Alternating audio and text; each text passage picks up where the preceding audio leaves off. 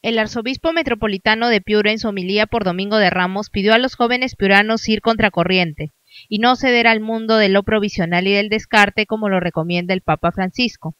Pidió no dejarse llevar por el mundo que vive solo del hoy y prostituye lo que significa amar de verdad.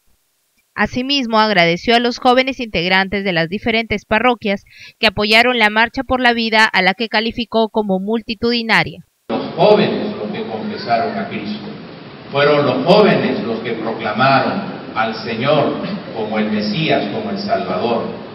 Fueron los jóvenes los que arrancaron las ramas de los árboles y las batían en signo de triunfo al paso del Señor.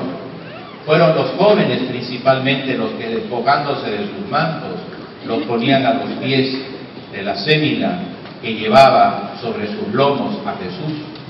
Fueron los jóvenes los que proclamaron a Cristo como el que viene a salvar, como el que viene a liberar.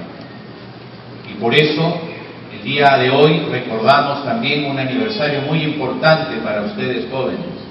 Es el 30 aniversario desde que San Juan Pablo II, el gran patrono de la juventud, instituyera esas jornadas mundiales de la juventud.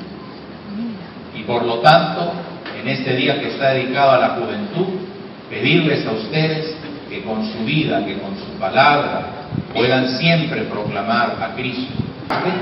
Como dice el Papa Francisco, y esto es lo que él les pide en el mensaje de este año de la Jornada Mundial de la Juventud dedicada a ustedes, les pide que vayan contra el corriente, que no cedan a este mundo de lo provisional, del descarte, de lo ilusorio a este mundo que le dice vive el hoy, que prostituye lo que significa realmente amar de verdad, que solamente Jesús lo muestra y lo manifiesta, y es esto lo que veremos sobre todo el Viernes Santo cuando lo veamos crucificado, hasta amándonos hasta el extremo.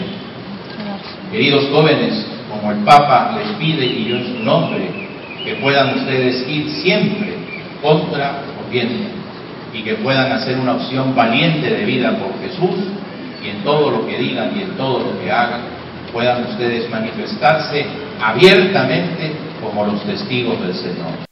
Durante la misa del Domingo de Ramos, celebrada como todos los años en el atrio de la Basílica Catedral de Piura, el Monseñor pidió también por el cese de las lluvias en nuestra región y pidió para que las autoridades colaboren de forma solidaria con el desastre.